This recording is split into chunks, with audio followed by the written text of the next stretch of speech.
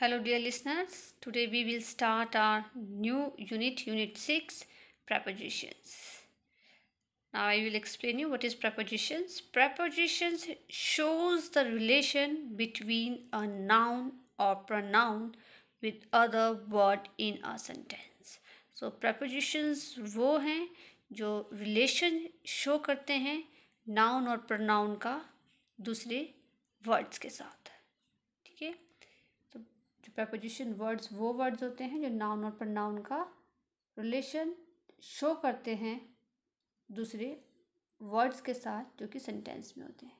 Let's start with the worksheet one look at the picture and read the sentence सबको ध्यान से इस picture को देखना है, ठीक है?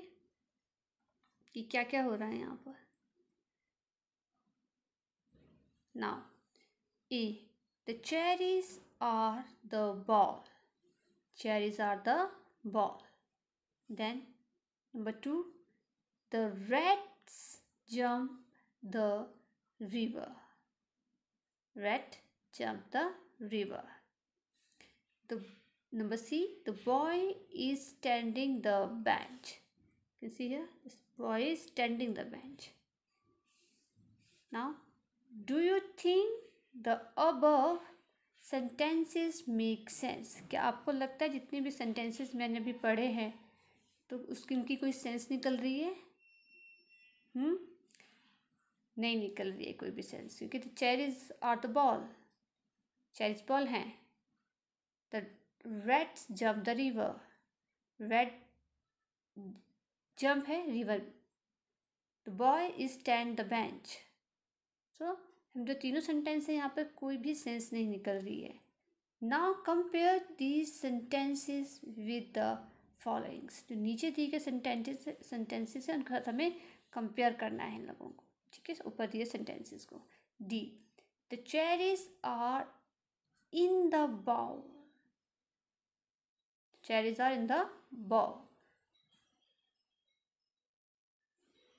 the reds jump into the river.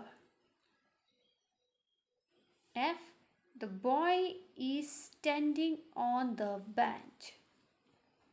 so, आपने नोटिस किया कि यहाँ पे the cherries are the bowl sentence नहीं बन रहा है तो नीचे आपने सेंटेंस में देखा कि इन लगाया गया है सेंटेंस कंप्लीट करने के लिए. ठीक है? Then red jump into the river then क्या लगा हुआ है? इनटू यूज़ किया गया है. Boy standing on the bench तो ऑन लगाया हमने, ठीक है? तो यहाँ पर क्या है? पूरे सेंटेंसेस की सेंस निकल रही है कि वो बता रहे हैं कि जो चेरीज है, किसमें हैं? बॉल्स के अंदर हैं। और जो रेड है, किसमें जंप कर रहे हैं? Into the water river sorry पानी के अंदर जो जंप कर रहे हैं। और boy standing on the bench boy कहाँ खड़ा हुआ है? बेंच के ऊपर।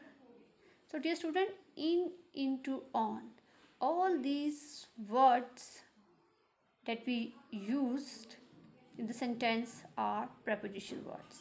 तो ये जितने भी वर्ड्स हमने यूज़ किए हैं एक सेंटेंस को कंप्लीट करने के लिए जिसमें से मीनिंग निकल रहा है सेंटेंस का तो वो क्या है? जो वर्ड्स है जो कंप्लीट कर रहे हैं सेंटेंस को, ये क्या है? प्रपोजिशन वर्ड्स तो यहाँ पर बहुत सारे प्रपोजिशन वर्ड्स हैं जो कि हमें इस चैप्टर में पढ़ेंगे। In sentence D the word in shows the relation between the cherries and the ball तो ये बोल रहे हैं कि जो सेंटेंस डी है, इसमें जो चेरीज हैं और बॉल है, उसके बीच में रिलेशनशिप शो कर रहा है। ठीक है ना? कि चेरी का रिलेशन किसके साथ है? बॉल के साथ। ठीक है? Now in sentence E the word into show the relation between jumping and the river और हम सेकंड अगर ई सेंटेंस पढ़े तो किसके बीच में रिलेशन शो कर रहा है? जंपिंग एंड द रिवर के बीच में। ठीक है? Next similarly in the sentence F the word on show the relation between E standing and the bench तो किसके बीच में रिलेशन शो कर रहा है? ई स्टैंडिंग और द बेंच के बीच में। कौन सा word on the word in into on are preposition as I explain you तुम ये वर्ड्स हैं इन इन टू और ऑन ही क्या है?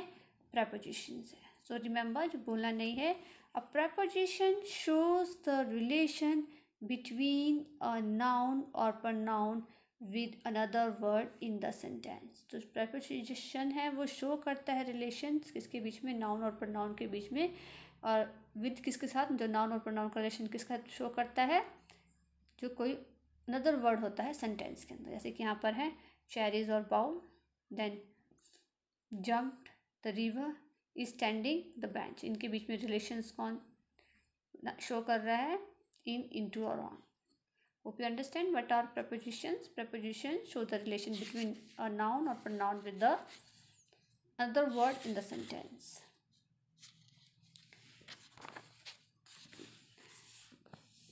number two a few prepositions are mention below जैसे कि मैंने बताया इन इन टू के अलावा भी बहुत सारे ऑन के अलावा भी बहुत सारे वर्ड्स होते हैं, जो प्रपोजिशंस वर्ड्स होते हैं and these are the words in on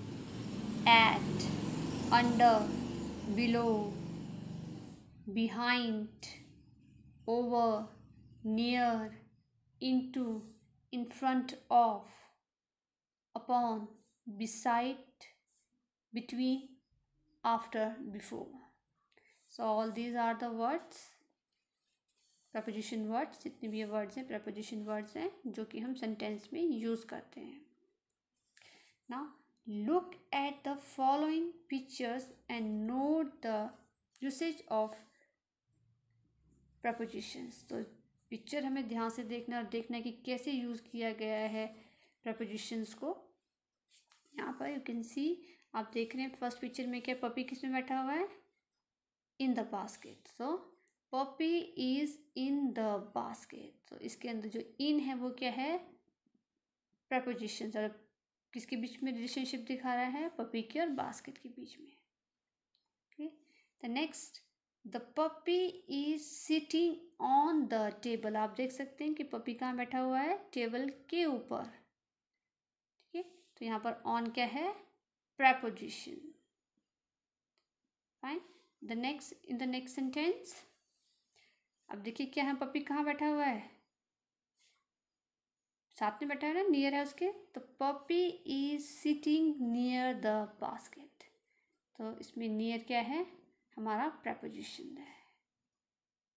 is sitting और जो बास्केट के बीच में, एक सेंटेंस के बीच में ये रिलेशनशिप दिखा now next the puppy is behind the basket आप देख सकते हैं इस पिक्चर में पपी क्या है? बास्केट के पीछे चला गया है means behind the puppy is behind the basket तो बिहाइंड क्या है? प्रपोजिशन है.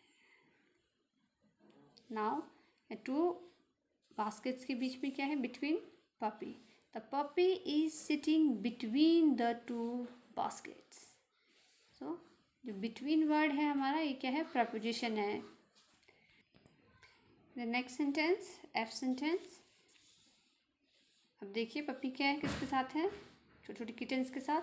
The puppy is sitting along among sorry among the kitten so puppy के साथ बैठा हुआ है, बच्चों के साथ अमंग द जो अमंग वर्ड है वो क्या है? प्रपोजिशन है।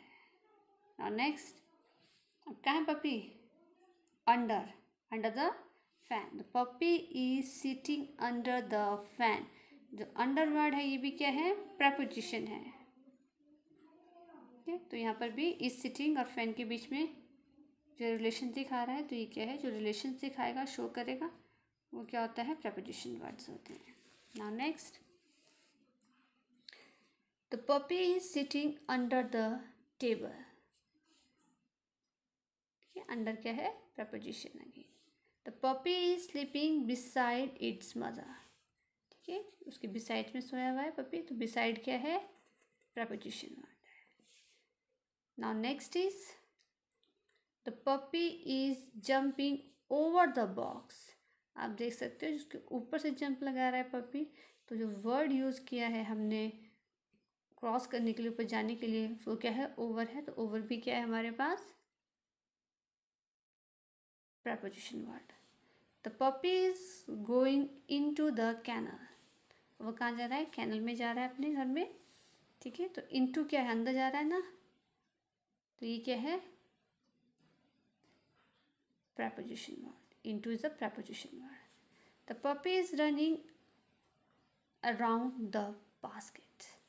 Puppy क्या है? नेक्स्ट पीछे देख रहे हो चारों तरफ़ घूम रहा है अराउंड कर रहा है तो puppy is running around the basket तो इज़ रनिंग जो रिलेशनशिप है बास्केट के साथ दिखा रहा है कि बास्केट के चक्कर लगा रहा है अराउंड कर रहा तो क्या है ये? जो अराउंड वर्ड ये क्या है? Preposition so the student hope you understand what are prepositions prepositions वो वर्ड हैं जो नॉन और प्रनाउन का रिलेशन किसी और वर्ड्स के साथ सेंटेंस में शो करते हैं। ठीक है? Tomorrow we will start our worksheet that's all for the day hope you will understand this concept try to understand this concept thank you have a nice day